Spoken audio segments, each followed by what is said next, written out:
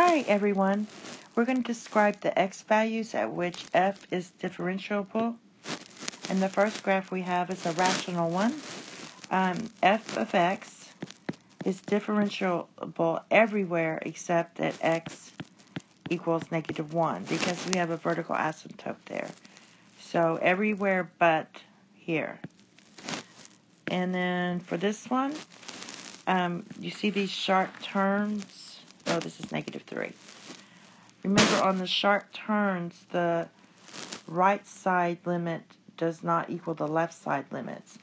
So, because of the sharp turns in the graphs at negative 3 and 3, uh, f of x is differentiable everywhere except at x equals negative 3 and at x equals 3 because the right side and uh, left side limits are, do not match up.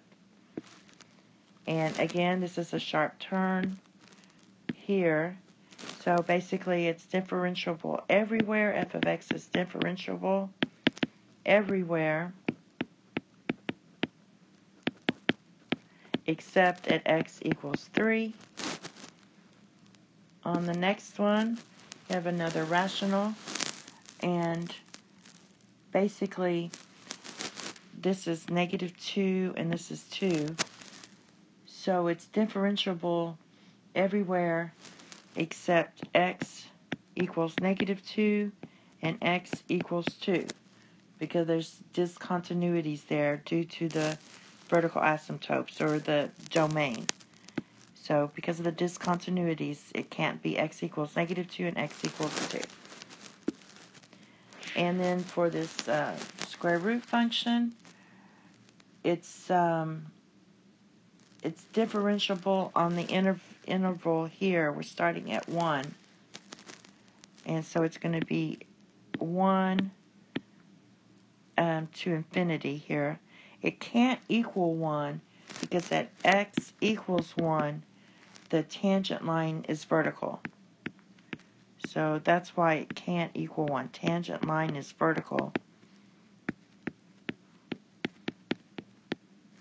Which means that's undefined. And then for the last one, we have this one. So um, it's differentiable everywhere except x equals 0. Because there's a big jump there. Um, let's see. So differentiable everywhere except x equals 0 because there's a discontinuity there.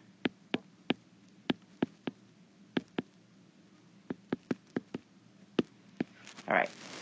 That's it. Thank you. Have a nice day. Bye-bye.